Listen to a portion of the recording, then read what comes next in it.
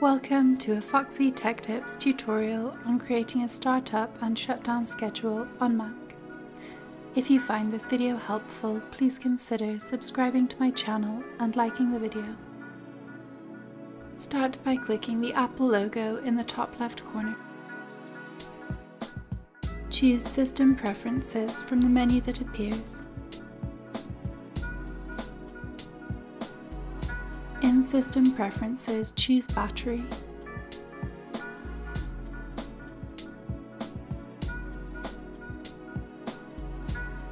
Click Schedule from the left sidebar menu.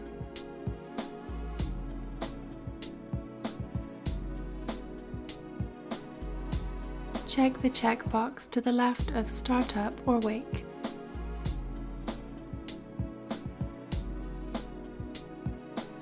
Click Every Day and you can choose whether you would like your Mac wake up schedule to be on weekends, weekdays, or every day, or you can choose an individual day.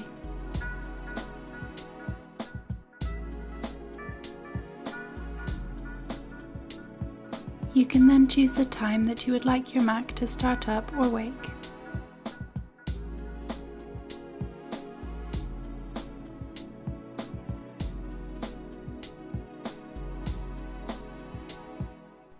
To set a shutdown or sleep schedule, check the checkbox to the left of Sleep.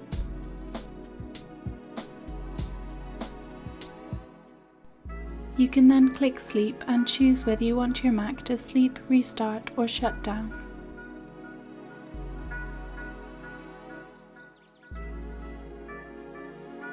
Click every day and you can choose whether you want your Mac to shut down on weekdays, weekends, every day or on a specific day. To the right, you can choose what time you would like your Mac to shut down or sleep.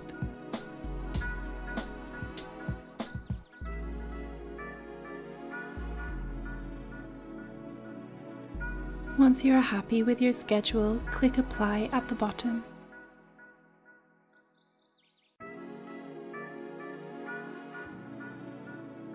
Your Mac startup and sleep schedule has now been set. And that draws an end to this tutorial.